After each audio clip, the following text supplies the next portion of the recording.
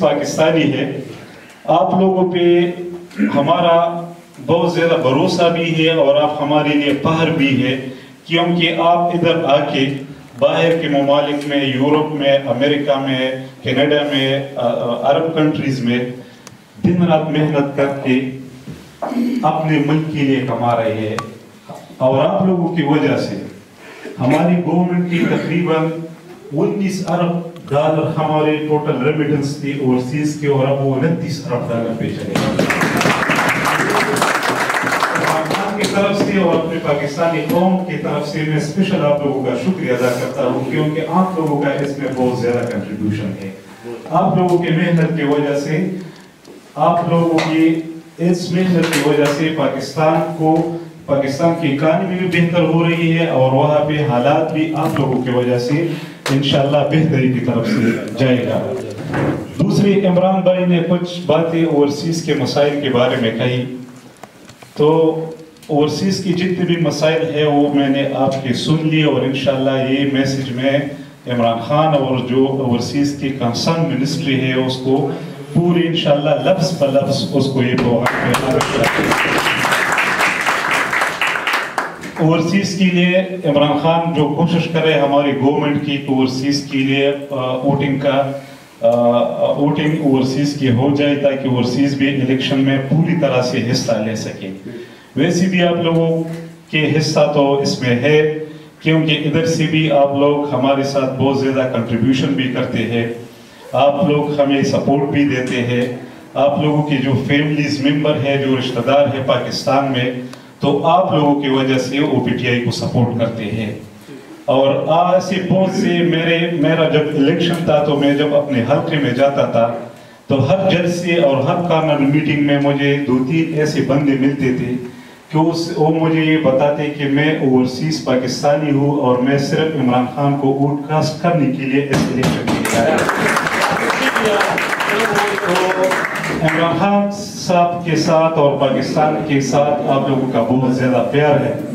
और इस बात का हमें एहसास भी है कि इन जितना भी ओवरसीज़ के लिए जो खान साहब का जो विजन है कि ओवरसीज़ को इज़्ज़त देनी है रिस्पेक्ट देनी है तो इन मज़ीद भी ओवरसीज़ के साथ जितना भी हो सकता है हमारी गवर्नमेंट उस पर पूरी फोकस कर रही है और कोशिश होगी कि हमारी गवर्नमेंट जितना भी फैसिलिटेट कर सकते हैं आप लोगों को तो फैसिलिटेट करेगा इन इसके अलावा मेरे दोस्तों ने जो सितंबर का महीना है, जो 6 सितंबर का वाक़ उन्नीस में हुआ था, और पाक फौज को जो आप लोगों ने अप्रिशिएट किया तो पाक फौज वाकई अप्रिसिएशन के काबिल है। पाक फौज हमारी ऐसी फौज है, ऐसी ऑर्गेनाइज फौज है, कि दुश्मन मेरी आँख से हमारी तरफ़ देखने की ज़रूरत भी नहीं कर सकता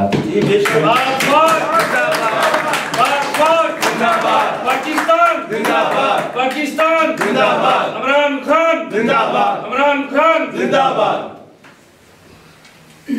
एक मेरा साथी था उसने अफ़गानिस्तान और कश्मीर पे बात की तो अफ़गानिस्तान हमारा हमसाया मुल्क है और ये इमरान खान की भी ख्वाहिश है ये पूरी पाकिस्तान की भी ख्वाहिश है और ये हमारे पश्तून जो कम्युनिटी है खैबर पख्तूनख्वा से है या जो बलूचिस्तान से है उस सब की ये ख्वाहिश है कि अफ़गानिस्तान में अमन हो क्योंकि अफ़गानिस्तान ने बहुत ज़्यादा जंग झेली तकरीबन चार, चालीस साल से अफ़गानिस्तान मुसलसल हालात जंग में है। पहले रशियन वार आ गई बीस साल उसकी वजह से वो दर बदर हो रहे हैं। फिर उसके बाद अमेरिकन वार, यूएस वार जो नाइन एलेवन के बाद आए, उसके बाद उसके बहुत ज़्यादा अफ़गानिस्तान को बहुत ज़्यादा नुकसान पहुँचा। अफगानी हमारे भाई है। हम चाहते हैं कि अफ़गानिस्तान में अमन हो। हम चाहते हैं कि अफ़गानिस्तान में तरक्की हो। और हमारी ख्वाहिश और कोशिश है कि अफ़गानिस्तान एक पुरान मुल्क हो और उसके साथ हमारे जो हमसायगी की जो दोस्ती का है, जो रिश्ता है, वो अच्छी तरीके से जारी रहे। और उसी के अगर अफ़गानिस्तान में अमन होगा, अफ़गानिस्तान में पीस होगा, अफ़गानिस्तान में तरक्की होगी तो साथ पाकिस्तान में भी तो साथ तो साथ पाकिस्तान में भी अमन होगा, पाकिस्तान में तरक्की होगी और पाकिस्तान में भी खुशहाली होगी।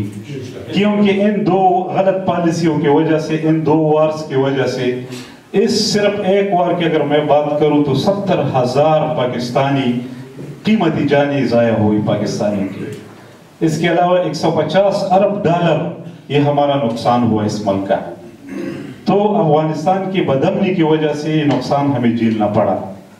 तो इस बात पे मैं आप लोगों को एक रिक्वेस्ट करता हूँ कि बस लोग ऐसे हैं जो स्पेशली ओवरसीज है। अगर अफगानी अफगानी भाई कोई बात अगर पाकिस्तान के बारे में भी कहे तो आप लोगों का रिएक्शन ऐसा हो कि भाईचारे का हो। आप लोग कोशिश करें कि उसे भाईचारे के साथ, क्योंकि वो लोग बहुत ज़्यादा तकलीफ़ में है।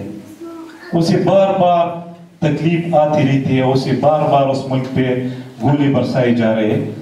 तो इस वजह से उस लोगों को बहुत ज़्यादा तकलीफ़ अफगानियों को तो उनके साथ जितने भी मोहब्बत और शफकत के साथ आप पेश आ सकते हैं तो मेरा आप लोगों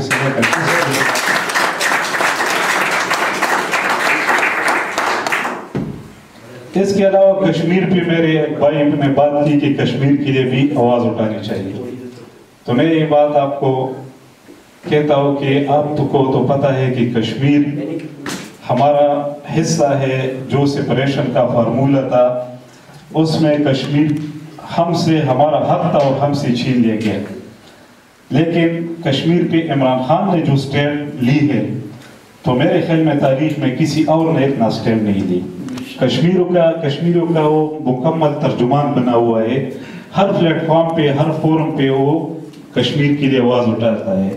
और हर प्लेटफॉर्म और हर फोरम पे उसने मोदी का जो मकरू चेहरा था वो पूरी दुनिया को एक्सपोज किया इससे पहले इतना इंडियन को इस तरह किसी ने भी एक्सपोज नहीं किया था, जिस तरह इमरान खान ने की और पीटीआई की गवर्नमेंट में की। तो ये हमारी, हमारा एक कोशिश होगी और हमारे एक जद्दोजहद है और हमारी इंशाल्लाह इंशाल्लाह हमें अल्लाह पे पूरा भरोसा है कि कश्मीर का मसला इंशाल्लाह हल हो जाएगा। एक बात और है कि हमारे पाकिस्तान तो चौदह अगस्त उन्नीस सौ सैतालीस को आज़ाद हुआ। आज़ादी को तकरीबन बहत्तर तिहत्तर साल गुजर गए। जो असल आज़ादी है, वो आज़ादी हमारे हुक्मरानों की वजह से या हमारी लीडरशिप के गलत पॉलिसियों की वजह से, वो आज़ादी हमें नहीं मिली। क्योंकि एक मुल्क जो आज़ाद होता है तो वो खुददार होता है वो सावरन कंट्री होती है। उसकी खुददारी पे कोई दाग नहीं लगा सकता। उसकी खुददारी को कोई चैलेंज नहीं कर सकता। लेकिन जब से इमरान खान आया है, अब तो ओवरसीज पाकिस्तानी है आप कोई बेल्जियम में है, कोई कनाडा में है, कोई यूरोप में है, कोई लंदन में है, जहाँ भी भी हो। तो मेरे ख्याल में आप लोग इस बात पे अपार महसूस कर रहे हो कि हमारा प्राइम मिनिस्टर पाकिस्तान का इमरान खान। जिसने पाकिस्तान की खुददारी के लिए जो आवाज़ उठाई और जो हमसे डू मोर के मुताबिक की जाती थी। और हम सब नीचे करके उस पर अमल करते थे। वह वाहिद इमरान खान ऐसा लीडर हमें अल्लाह ताला ने एक तोहफे के तौर पर दिया कि जिस, जिसी, किसी में भी ज़रूरत नहीं है कि उसको डू, मोर का, उससे मुतालबा करे। वो बिल्कुल अपने मुल्क के लिए बात करता है, वो इस्लाम के लिए बात करता है और वो खुददारी का बात बात करता है और वो चाहता है कि पाकिस्तानियों के इज़्ज़त पे कोई दाग न पड़े। तो ऐसे लीडर अल्लाह ताला ने हमें दी है कि इनशाला इसी लीडर के आ, इसी लीडर के इनशाला इसी लीडर की वजह से हमारा मुल्क तरक्की की तरफ़ भी चलेगा। हमारा मुल्क का जो डूम और वगैरह इस तरह की जो चीज़ें थी वो बिल्कुल नहीं होगा। जितनी भी पॉलिसी अब बनेगी तो पाकिस्तान ही खुद अपने लिए बनाएगा।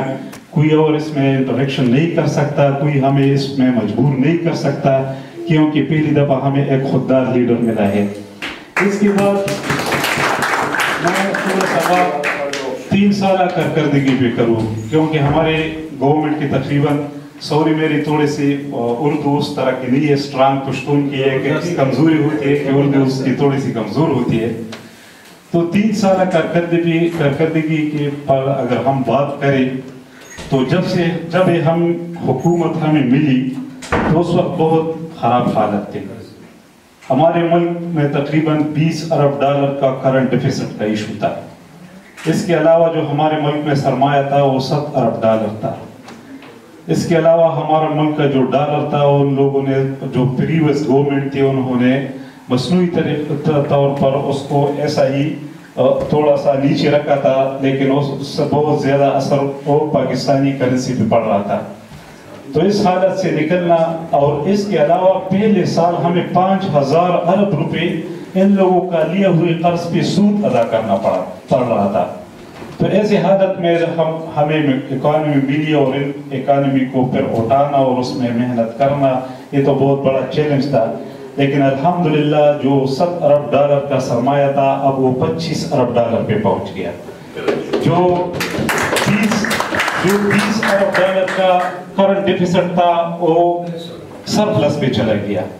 ये पहली दफ़ा पाकिस्तान की हिस्ट्री में हो रहा है। जो हमारी एक्सपोर्ट थी, वो पहले 15 अरब डॉलर थी, अब तकरीबन वो भी 26 अरब डॉलर को क्रॉस कर रही है। तो ये भी हमारे लिए बहुत खुशी की बात है और इंशाल्लाह इसी तसलसल से आगे बढ़ता हुआ इंशाल्लाह पाकिस्तान की इकानमी बेहतरी की तरफ़ जाएगा। तीन सालों में इमरान खान ने जो मेन काम किया, उसमें दो तीन मोटी मोटी बातें मैं आप लोगों के साथ शेयर करना चाहूँगा।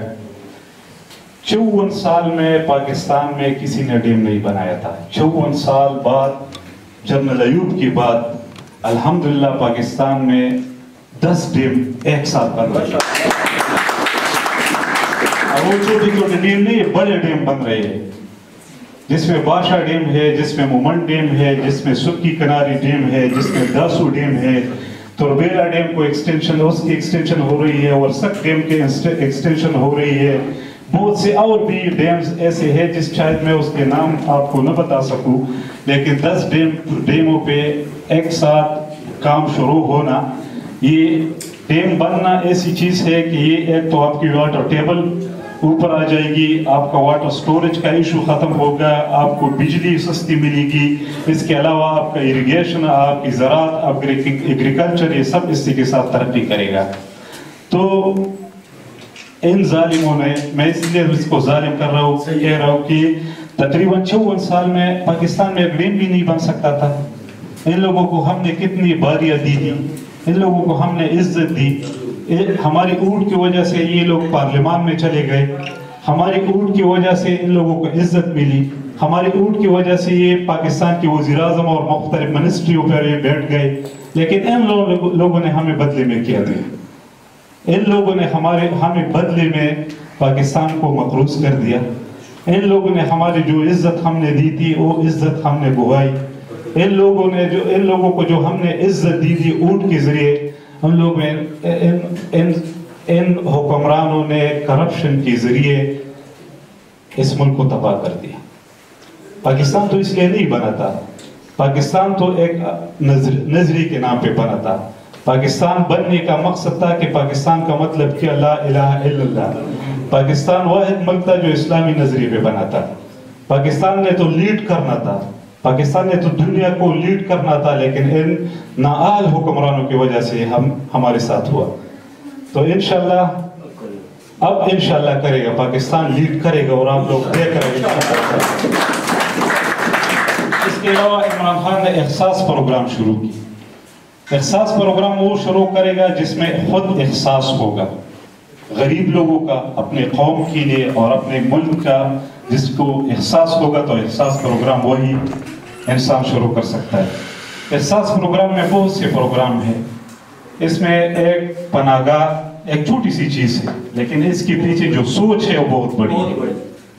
क्योंकि एक गरीब अगर हम पाकिस्तान में इसकी मिसाल पेश करें रावलपिंडी के चौक पे या लाहौर के चौक पे या कराची के चौक पे दूर दराज इलाके से आकर मजदूरी के लिए आया हो और उसी दिहाड़े और मजदूरी भी न मिले और सर्दी में वो फुटपाथ पे, उसको बिस्तर भी न हो और फुटपाथ पे उसकी रात गुजर रही हो उसका उसका कोई पूछने वाला न हो कि इसने आज दिहाड़ी की है या नहीं, इसको खाना मिला है या नहीं। इसको, इसके साथ बिस्तर नहीं है कि वो उसमें सो जाए। ऐसे लोगों की सोच इमरान खान ने की।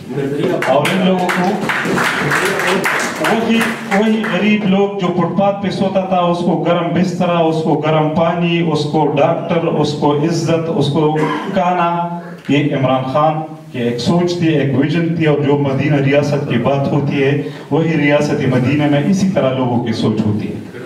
तो इमरान खान ने एहसास प्रोग्राम में ये चीज़ की। इमरान खान ने एहसास प्रोग्राम में तकरीबन 50 लाख फैमिलीज़ जो हमारे आमतौर पाकिस्तानी फैमिली में तकरीबन 10 अफराद होते हैं 50 लाख फैमिलीज़ को बारह हज़ार हर तह, हर तीन महीने बाद बारह हज़ार रुपए उसको वो उसके साथ वो देते हैं, तकरीबन हर तीन महीने बाद बारह हज़ार रुपए देते हैं।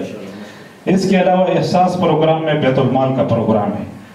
बैतुलमाल एक ऐसा प्रोग्राम है जो खुद में उसकी गवाह हो कि तकरीबन 200 माजूर लोगों को मैंने बैतुलमाल से वजीफा दिलाया। इसके अलावा बैतुलमाल से गरीब लोगों के लिए मैंने इलाज करवाई बैतुलमाल से मैंने गरीब लड़कियों की जी शादी नहीं हो सकती थी, उसके लिए जहेज का इंतज़ाम किया। बैतुलमाल से मैंने ऐसे बैतुलमाल से मैंने ऐसे काम अल्हम्दुलिल्लाह किए कि इस तरह के एक सोशल मीडिया पर एक दफ़ा मैंने एक वीडियो देखी तो उस वीडियो में एक बंदा रो रहा है और वो कह रहा है कि मेरी बेटी गुजरावाला में तीन साल से पड़ी है और वो, उस, वो वो जल गई थी उसकी बेटी और उसका चेहरा वो बिल्कुल सीनी तक मुकम्मल तौर जल गई थी वो। और वो तीन साल से पड़ी है इसका इलाज कोई नहीं कर रहा। और उस वीडियो में और सोशल मीडिया पर वो कह रहा था कि हमारा एमएनए अब अनवरताज बन गया है तो हमारा वो उसका कोई पूछने वाला नहीं। जब वो वीडियो मैंने वीडियो मैंने देखी तो ये बात मैं आपके साथ शेयर कर रहा हूँ, अपने दिखावे के लिए। वो वीडियो जब ही मैंने देखी तो मैं खुद उसके साथ रोने लगा। तो सुबह सवेरे जब रात गुजर गई रात को मैंने तकरीबन एक या दो बजे में देख रहा था। सुबह सवेरे उसके घर गया और जो मैं अपने साथ तरफ़ से कर सकता था उसके साथ किया और उससे डॉक्यूमेंट लेके तीन दो दिन के अंदर अंदर लाहौर में जना हॉस्पिटल है उसकी कॉस्मेटिक सर्जरी कराई और एक माह बाद उस बच्ची की शादी हो गई।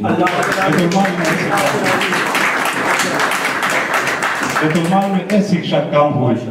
इसके अलावा एहसास प्रोग्राम में हेल्थ कार्ड एक बहुत बड़ा, अगर कि जो बंदा गरीब हो और उसके घर में कोई इस तरह का मरीज़ आ जाए कि जिसको हार्ट सर्जरी की ज़रूरत हो, जिसको किडनीज की ट्रांसप्लांट की ज़रूरत हो, जिसको कोई और मेजर सर्जरी की ज़रूरत हो और वो अपना घर भी अगर बेच दे तो वो ऑपरेशन नहीं कर सकता। तो उस फैमिली पे जो परेशानी होती है और उसका जो हालत होता है, वो अल्फाजों में बयान नहीं बयान नहीं की जा सकती। लेकिन हेल्थ कार्ड में खैबर पुख्तनख्वा में और फाटा में जितने भी लोग हैं, हर किसी के जेब में जो आईडी कार्ड है, उस पर दस लाख बीस हज़ार का इलाज हो सकता है। इसके अलावा पंजाब में इस वक्त 50 परसेंट जो लोग से उसके हेल्थ कार्ड हो गए हैं और मजीद नेक्स्ट ईयर में जितना भी पंजाब की आबादी है, कश्मीर की आबादी है गिलगित बल्तिस्तान है, इस सब में हेल्थ कार्ड हर किसी का वो फ्री होगा और हेल्थ कार्ड हर किसी के जेब में होगा, इंशाल्लाह।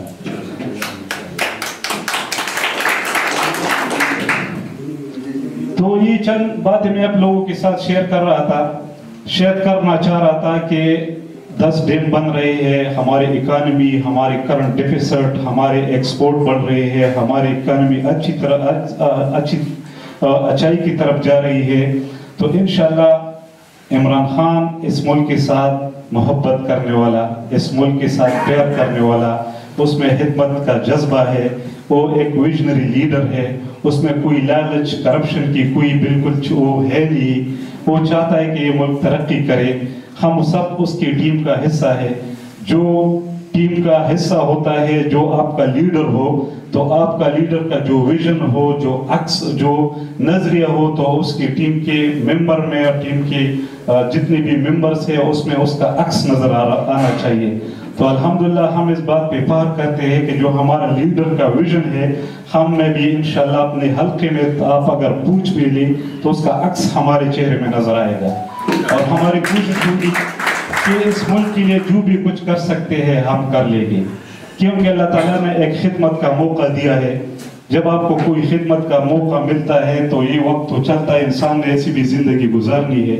तो आखिरत के भी लिए और इस दुनिया के लिए भी किसी न किसी न किसी के काम आना पड़ता है और आना चाहिए। ऐसी ज़िंदगी नहीं गुजारनी चाहिए। तो आप लोगों पे हमें पार है। ओवरसीज जितनी भी है, वो हमारे दिल के बहुत ज़्यादा करीब है। और हमें पीटीआई को तो इसलिए भी वो ज़्यादा करीब है कि तकरीबन 99 परसेंट ओवरसीज वो सिर्फ़ पाकिस्तान तहरीक इंसाफ से मोहब्बत करते हैं और सिर्फ़ इमरान खान से मोहब्बत करते हैं। और इमरान खान से मोहब्बत भी इसलिए करते हैं कि जो लोग बाहर चले जाते हैं, उसे उसे अपनी मिट्टी से प्यार हो जाता है। उसमें, उसे अपने मुल्क से प्यार मजीद बढ़ जाता है। तो जब वो बंद, एक बंदा अपनी मिट्टी से प्यार करता है, अपने मुल्क से प्यार करता है तो ज़ाहिर बात है, उसका मुल्क मुल्क की तरक्की भी चाहता है, उसकी अच्छाई भी चाहता है, और वो ये, उसकी ये कोशिश होती है कि हमारे मुल्क तरक्की करे, हमारी इकानमी बढ़े, हमारे मुल्क में, हमारे मुल्क की इज़्ज़त बढ़ जाए, और जब हमारे मुल्क की इज़्ज़त बढ़ेगी तो इससे हम भी आँखें उठाकर और बाहर से हम दूसरों के ममालिक में, इसी तरह हम भी आँखें उठाकर चल सकते हैं। तो इंशाल्लाह आप लोगों के जो मसाइल इमरान भाई ने बताए भाई, जो हमारा गुलाम रबानी साहब है, जो आप लोगों ने, जो हमारे, जो मुझे जो मसाइल ओवरसीज़ के आप लोगों ने बताए तो इंशाल्लाह लफ्स ब लफ्स में ये उनके साथ शेयर करूँगा, वो आपका पैगाम मैं उन्हें पहुंचाऊँगा। और आप लोगों का मैं बहुत ज़्यादा शुक्रगुजार हूँ, क्योंकि आप लोगों ने बहुत ज़्यादा हौसला अफजाई की। और इन ये आप मुझमें, ये मैं हमेशा याद रखूँगा कि मैं एक दफ़ा गया था, वैसे रबानी साहब ने कहा कि ये तो आए थे चक्कर पे या टूर पे। ऐसा नहीं था, मैं एक बार रिमानी ग्रुप में आया था, हंगरी, और वो पाकिस्तान के रिप्रेजेंटेशन के लिए आया था। पाकिस्तान जो तकरीबन 54 कंट्रीज़ के डेलीगेशंस आए थे और हम मैं और मेरे दो दो, तीन साथी और भी थी, हम पाकिस्तान को रिप्रेजेंट कर रहे थे और पाकिस्तान के नुमाइंदगी कर रहे थे।